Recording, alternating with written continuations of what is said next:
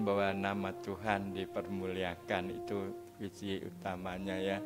Jadi bagi begitu indah pemandangan di sini semua ciptaannya Tuhan.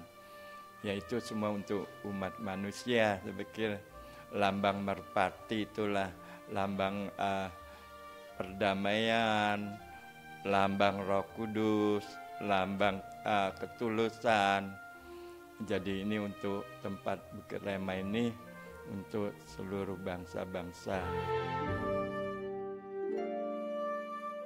Rumah doa Bukit Rema atau banyak dikenal dengan Gereja Ayam menjadi salah satu bangunan bersejarah di kawasan Magelang, Jawa Tengah.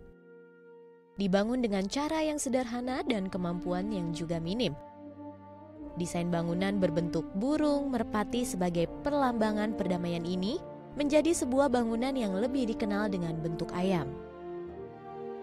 Sejak tahun 1992, Gereja Ayam menjadi kisah kebesaran Tuhan dalam hidup Daniel Alamsyah sebagai seorang pendiri bangunan tersebut.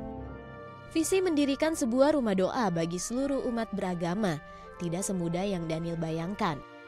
Keterbatasan biaya dan krisis ekonomi yang terjadi di Indonesia pada tahun 98 juga berdampak pada terhentinya pembangunan Bukit Rema tidak langsung berputus asa sedikit demi sedikit dengan bantuan tenaga dari masyarakat sekitar, akhirnya Daniel bisa kembali melanjutkan pembangunan rumah doa tersebut.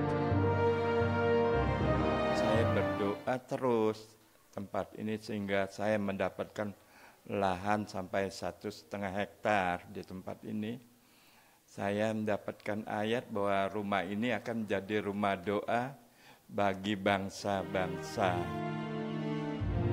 Jika menengok ke dalam bangunan ini, ada banyak ruangan doa yang disediakan dan memiliki nilai-nilai sejarah maupun religi.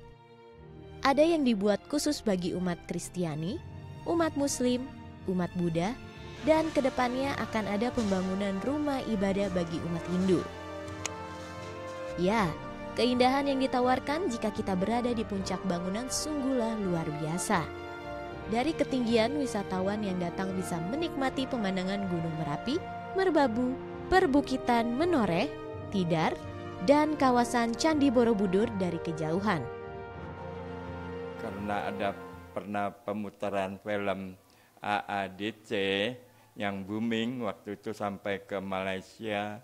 Jadi tempat ini dikenal, jadi seluruh wisatawan berkunjung di sini kami menyediakan juga musola untuk muslim, Buddha, mungkin uh, nanti pura untuk Hindunya dan sebagainya ya. Tidak hanya destinasi wisata alam, religi dan edukasi. Bukit Rema menjadi salah satu pengingat bagi siapa saja akan kebesaran Tuhan dan sebuah perjuangan. Priscilia Claudia, Kerdin Askolani, Dai TV.